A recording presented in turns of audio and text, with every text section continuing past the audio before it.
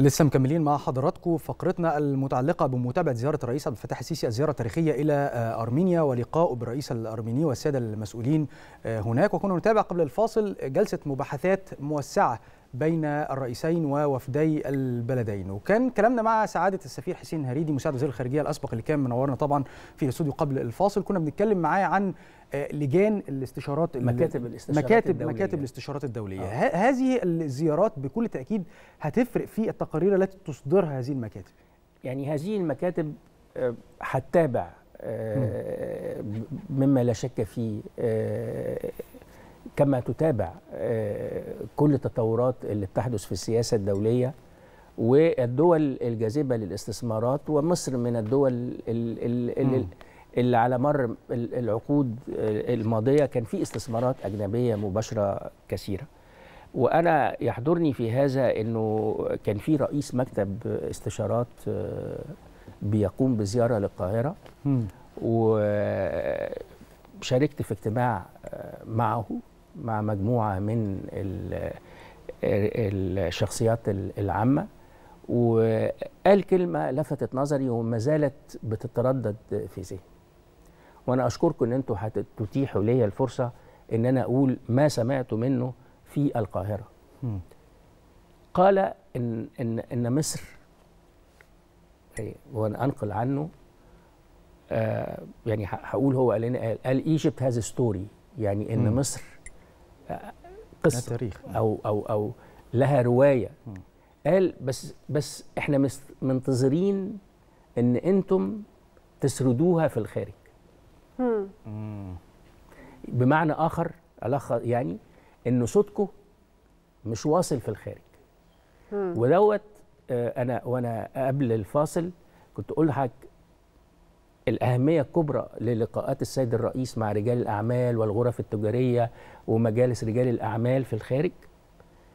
دي ليها أهمية كبرى طبعا. لكن يجب متابعتها بصفة مستمرة متابعتها بصفة مستمرة من جانب الجهات التنفيذية في مصر الجهات الحكومية التنفيذية في مصر م. والأهم في تقديري المتواضع هو التواصل المستمر مع مكاتب الاستشارات الدولية الكبرى اللي بتوج اللي بتعد دراسات عن مصر م. ليس مصر اليوم فقط لكن مصر اليوم خمس سنوات عشر سنوات فالشركات الكبرى الشركات ال multinationals الشركات المتعددة الجنسية التي تريد الاستثمار في مصر هتلجأ لأمرين أو ثلاث أمور. هتلجأ بداية للمكاتب الاستشارات الدولية. ثانيا هتلجأ إلى شركات متعددة الجنسية التي لها وجود في مصر وما هي المشاكل اللي بتواجه هذه. ثم ستراقب أو ستتابع عمل القطاع الخاص سيادة السفير إحنا ناقصنا إيه؟ يعني النهارده إحنا بنشوف سيادة الرئيس بيسافر الدول اللي يمكن إحنا كنا خلينا نقول مسبقا نغفل عنها. إحنا يمكن كان عندنا بنتكلم سنين كنا بنقول عن يمكن العلاقات المصرية الأفريقية. النهارده العلاقات المصرية الأفريقية في في يعني خلينا نقول في أوج الصور ليها. لو هنتكلم عن العلاقات المصرية الآسيوية وهكذا مقابلة السيد الرئيس لرجال الأعمال في كل دولة بيسافرها تقريبا هل في دور لرجال الأعمال المصريين يمكن لسه محتاجين يقوموا بيه عشان يقدروا يوصلوا استثماراتهم يمكن لبلاد تانية وبالتالي الاستثمارات المصرية تتواجد على أراضي دول مختلفة؟ هو فعلا في حضرتك شركات سواء شركات تابعة لقطاع القطاع العام أو قطاع الأعمال العام أو شركات القطاع الخاص اللي ليها استثمارات استثمارات في في الخارج وليها بصمات كبيرة يعني بدون ذكر أسماء في شركات حقيقي شركات مصر مصرية بنعتز بالدور اللي بتقوم به في إنشاء مشاريع وفي دول عربية ودول أفريقية. لكن طبعا القطاع الخاص المصري محتاج لدفعة قوية من الحكومة ليستطيع أن يتوسع بالمزيد في الاستثمارات في في في الخارج.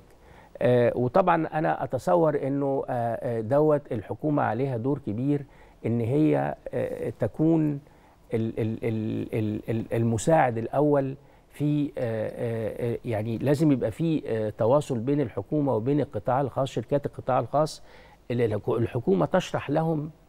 تشرح لهم دورهم. آه، أين فرص الاستثمار. امام امام أمام آه، شركاتهم في الخارج؟ وطبعا دوت آه، يعني محتاج إلى عمل يعني تنسيق بين الأجهزة الحكومية وبقى اتحاد اتحاد الصناعات المصري. يعني في يعني مصر عندها حضرتك آه، حضراتكم عندها الهيكل عندها ال- ال- ال- البنية التحتية. اللي ممكن حضرتك تساهم بشكل إيجابي في آه، فعلا زي ما حضرتك قلتي إن شركات القطاع الخاص المصري الشركات الكبرى آه، آه، تبحث عن فرص استثمار في الخارج. طيب ده عظيم جدا. كنت عايز أرجع بس لدور ال- المكاتب لأن الحقيقة بتقوم بدور مهم جدا وأنا حابب أفهم أكتر. هل هي. بتتابع تطورات الأوضاع الاقتصادية فقط أم تطورات الأوضاع السياسية أيضا؟ الاستقرار السياسي داخليا في الدولة وأيضا علاقات هذه الدولة خارجيا. حضرتك ال- التقارير اللي هذه المكاتب بتعدها بتبقى تق- تقرير في آه، آه، شق سياسي بيبقى. فيه شق سياسي وشق اقتصادي والحجم حجم التجارة الخارجية لمصر ثم في شق المتعلق بالتشريعات والتقاضي المتعلق بالاستثمار الأجنبي. التشريعات اللي بتحكم ثم التقاضي في آه، المنازعات بين الشركات الأجنبية مم. وبين الجهات الحكومية أو تضمن لها حقوقها وفي نفس الوقت تضمن لها خروج آمن كمان إذا يعني حدث. فهنا بقى حضرتك التقرير بيقول إيه طبعا دي بتبقى تقارير آه، سرية بتبقى ت- تتسم بالسريه بتبقى بين مكتب الاستشارات المعني وبين الشركة اللي طلبت الدراسة دي لكن بتبقى دراسة موضوعية إلى أبعد ال- ال- الحدود آه، بيركزوا فيها على طبعا يعني من ضمن المسائل اللي هتبقى هامة جدا سعر الصرف على سبيل المثال. مم. آه، آه، يعني ده ودي مسألة آه، يعني حسب المعلومات البسيطة المتوفرة ليا دي مسألة. الشركات اللي ب- ب- ب- بتستثمر في مصر حاليا سعر الصرف ده من الموضوعات اللي بيبحثوها. لأن هو حضرتك جه مصر جه مصر يستثمر لسنوات طويلة. يعني هو يريد أن هو يتوطن في في مصر. آه، فطبعا سعر الصرف على سبيل المثال دي من القضايا اللي اللي بتشغل اهتمام هذه الشركات وبالتالي بيبقى ليها حضرتك برضو بتبقى متابعة. اتفاق صندوق النقد الدولي اللي توقع اللي الحكومة المصرية وقعته في ديسمبر الماضي. طبعا المكاتب الاستشارات الدولية دي يعني دراسته دراسته.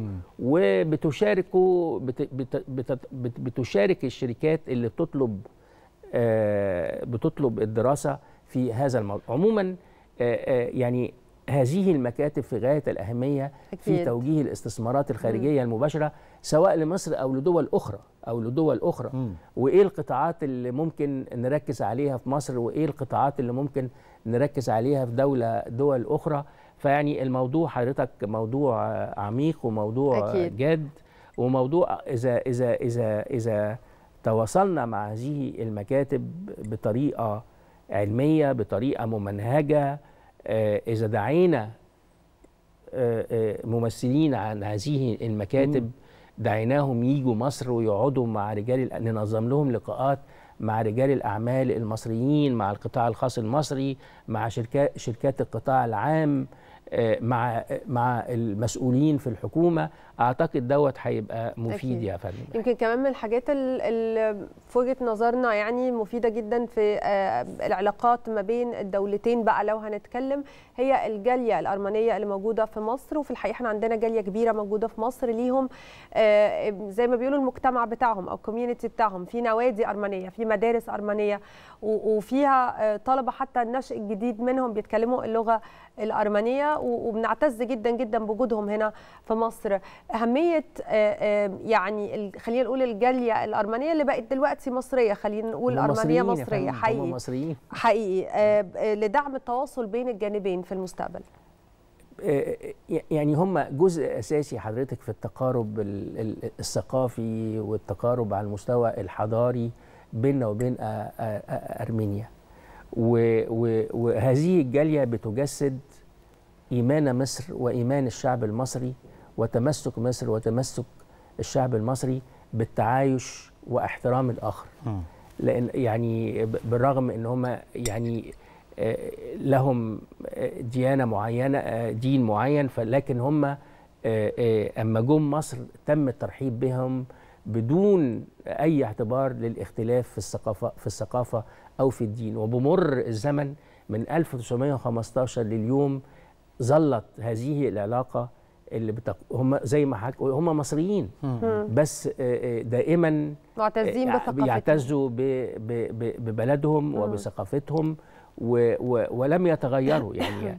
لكن في حاجة بعد آخر بقى النقطة أحب أرجع ليها نحك تأثير ذلك على صورة مصر في الخارج.